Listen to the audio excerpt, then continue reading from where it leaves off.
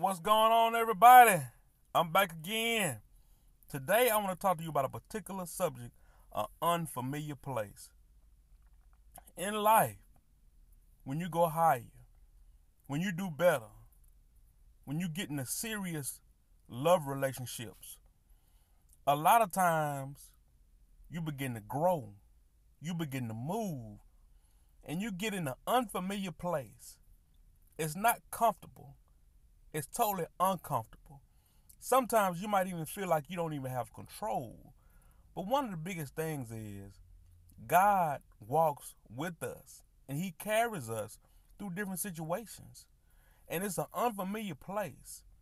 We used to being torn down, talked about, situations that may not be no good, but now it's different because things are changing for the better. And when they change for the better, it's like a kid all through his life. He been eating that lumpy oatmeal, but he went over somebody's house, and the oatmeal didn't have no lumps in it.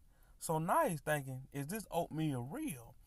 A lot of times, the person that's not your type is the one who will treat you right and change your life.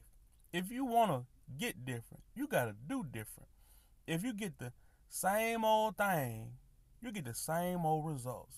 But the minute you change, the minute you think, the minute you meditate and pray and make things happen and realize if I change my mind, I could change my thinking, I could change my life, things can happen for the better.